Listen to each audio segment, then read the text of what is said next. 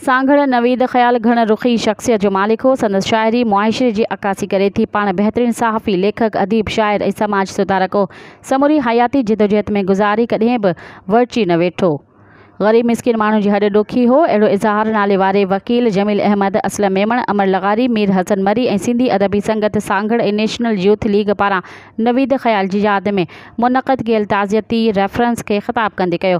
हुनजो नवीद ख़याल उणिवीह सौ सठि में सांघड़ में जनमु वरितो, सॼी ज़िंदगी जिदोजहद में गुज़ारी, पाण सिंध जो बहितरीनु शाइरी हो। शाइर हो, संदसि शाइरी जी किताब गुज़रे। लम्हो के दुख में मुआशिरे जे सभिनी ॾुखनि खां दास्तान बयानु कयल नवीद ख़याल जी सोच हुई त रियासत माउ जहिड़ी हुजे, हर माण्हू ख़ुशहाल आज़ादु हुजे।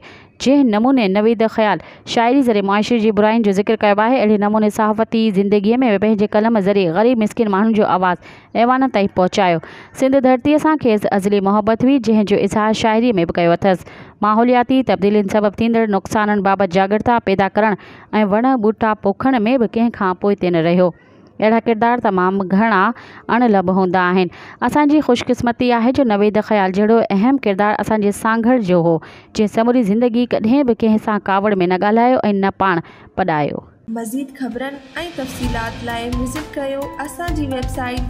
www.awamiNewsHD.com